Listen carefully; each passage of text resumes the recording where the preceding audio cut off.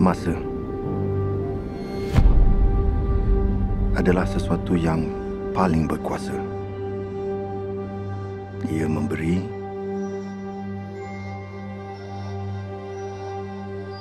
tapi ia juga mengambil tanpa amaran, tanpa sebab.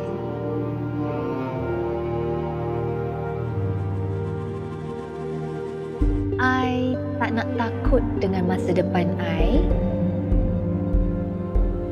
And I tak nak menyesal dengan masa silam. I nak hidup untuk sekarang. Sarah, I boleh patah balik masa.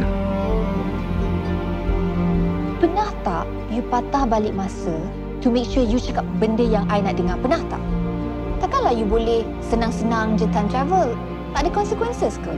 Ada kalanya Akid, Akid kena terima dengan apa yang terjadi.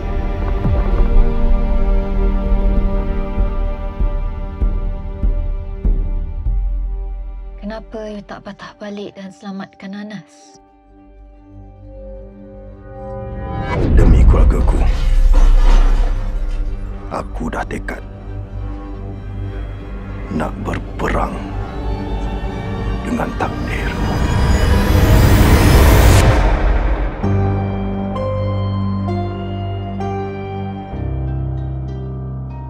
The future, kita happy tak?